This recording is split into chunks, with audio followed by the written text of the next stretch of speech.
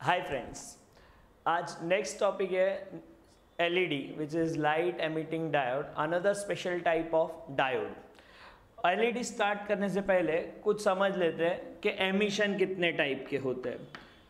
तो when I talk about emission there are two type of emission one is called spontaneous emission and another is called stimulated emission.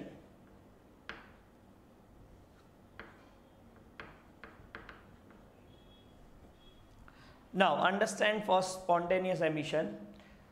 There are two energy level. One is high energy level we call E2 energy level high and second is low energy level E1 consider electron which is at high energy level इसको कुछ तो हुआ और ये नीचे आ गया लो energy level पे अपने आप then it will emit some energy in the form of photon H nu If this energy is low it is in the form of heat and if this energy is high it is in the form of light and in stimulated emission will consider electron at high energy level और इसने जो energy emit किया है वो अगर यहाँ पे आके स्ट्राइक करता है इसको एच न्यू तो ये हाई एनर्जी लेवल से लो एनर्जी लेवल पे आ जाएगा और कुछ एमिट करेगा एनर्जी एच न्यू लेकिन ये जो एच न्यू है, वो भी प्रेजेंट है बिकॉज़ इलेक्ट्रॉन ने एनर्जी एब्जॉर्ब नहीं की है, इसके लिए दो एच न्यू मिला।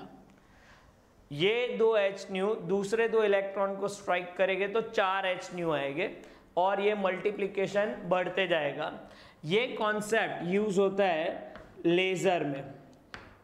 और इसके फुल फॉर्म जब हम लोग बोलेंगे तो उसमें स्टिम्युलेटेड भी आएगा। Light amplification by stimulated emission of radiation तो it is based on stimulated emission but अपना टॉपिक है एलईडी तो एलईडी में स्पॉन्टेनियस एमिशन होता है।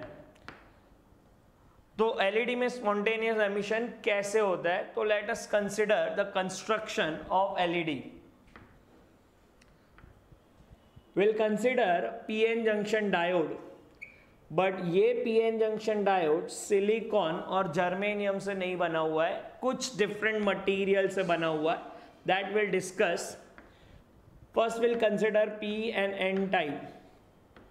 Holes are majority charge carrier and electrons are majority charge carrier in N type. It is connected in forward bias.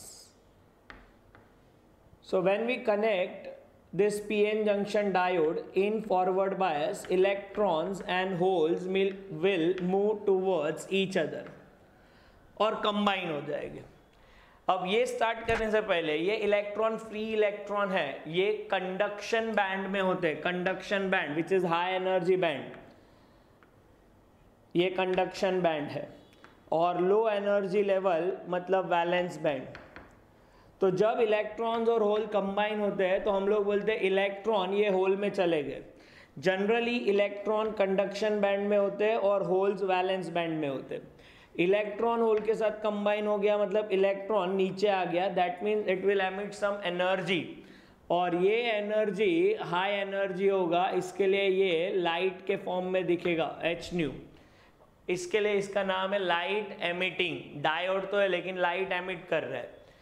तो question आएगा, sir, पहले ऐसा क्यों नहीं हो रहा था डायोड में?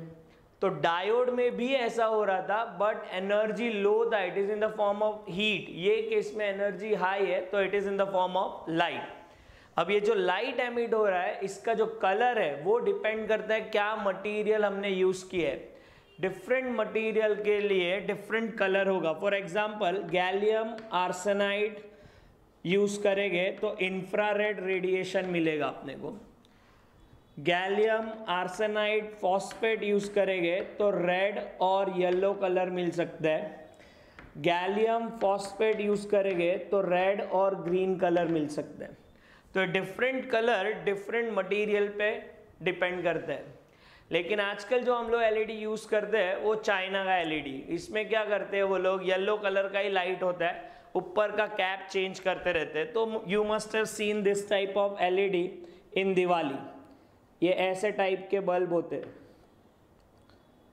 जिसमें ये जो आउटर कवर है, वो उसका कलर चेंज कर दिया रेड तो रेड लाइट दिखेगा। ग्रीन तो ग्रीन लाइट दिखेगा। तो इसमें कॉस्ट कम हो जाता है प्रोडक्शन कॉस्ट कम हो जाता है। अब एलईडी का सिंबल अगर ड्रॉ करेंगे तो ये डायोड जैसा ही है, इसके लिए इसका सिंबल डायोड और ये लाइट एमिट करता है, इसके लिए दो एरो बनाएँगे outward but remember one thing it works only in forward bias reverse bias में ये काम नहीं करता है। और मोस्टली सब जगह रिमोट में टीवी में एयर एयर कंडीशन सब जगह जहाँ पे भी आपको ऐसा लाइट दिखता है छोटा सा, वो आपका एलईडी होता है। तो this is all about LED next lecture में हम लोग कुछ डिफरेंट और टाइप के डायोड स्टडी करेंगे। For that stay tuned